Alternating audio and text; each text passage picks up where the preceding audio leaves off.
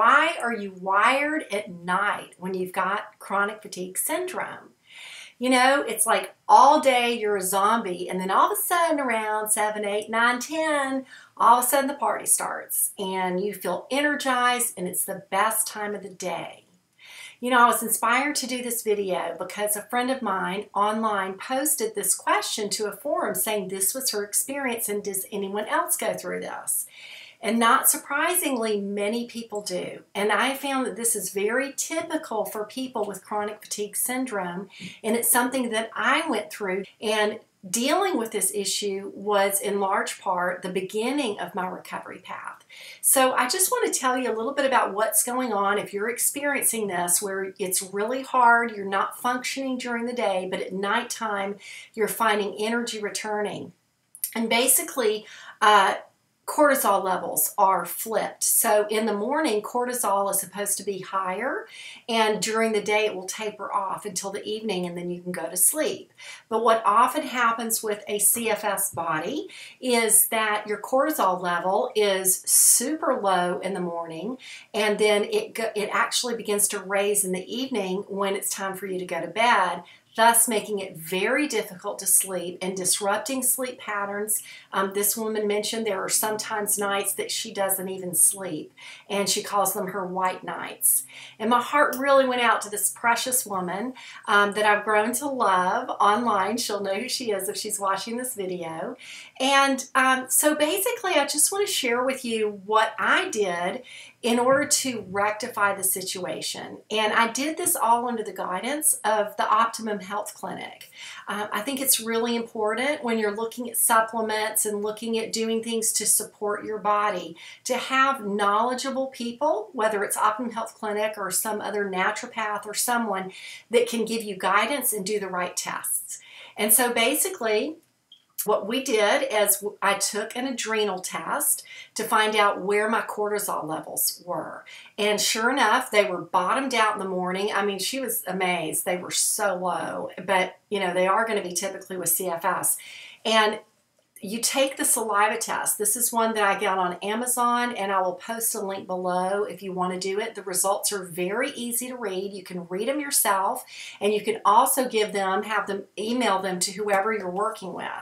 Um, but basically, I was bottomed out in the morning, and in the evening, I was finally getting, you know, to feel alive. And of course, then I wanted to stay up because I never had any energy other than that time. But it's really important to flip this back into normal uh, cortisol levels. And so there are a few different ways that you can do that. And I'm going to share with you the supplement that I was put on through Optimum Health Clinic. But first, I want to say there were other things that I employed that were really important. Things like alternate nostril breathing in the morning when I first woke up I put I stayed in bed and I put music on my phone and I would alternate nose breathing um, for five to ten minutes and just relax because the reason is you know, with CFS, our nervous systems are elevated in a state of fight or flight. And so it's running that cortisol. Like I would wake up sometimes in the middle of the night just like this, and I could just feel that cortisol coursing through my body. And so what we want to do is begin to calm down our body's nervous system. And you can do that through things like alternate nostril breathing. It's very easy. And I was so debilitated that I didn't even switch nostrils. I would just breathe slowly through one nostril, and that was easy to do. So, other things included things like meditation to calm the body, self hypnosis tracks, Glenn Harrold, other ones that you can find that really help bring calm to the system. Brain retraining is can be very effective for bringing calm to the nervous system. So these are all holistic approaches that you can use. Um, but you know the the bottom line is if you've had CFS and you've crashed, your body is going to need some support to rebuild some of these things that that high level of uh, nervous system has depleted. And so you may be able to do it just through nutrition and, di- and diet. Um, for me, I opted to go with a supplement. But again, it's very important when you have CFS to do supplements in a certain way. And, and the way that is, is to start first of all, be tested for what you need and have guidance from a um, smart practitioner with CFS. And then the second thing is you start very slow. You don't do the typical dose. You start with like half or a quarter of whatever the normal dose is. Because again, when the body is in such an elevated uh, state, it's very reactive. So you want to make sure that you're taking a dosage that you won't react to and that's comfortable for you. And then you can, if you do well with it, you can continue to increase that dosage till you get to whatever that practitioner has recommended that you do. Supplement that I use is Dr. Wilson's uh, Adrenal Rebuilder. And let's see if I can do this. I will put a link below to the Amazon. I think this is about $45 uh, for 90 of these. And so anyway, it this began to help me with my adrenals and it was what we did to reverse that cortisol.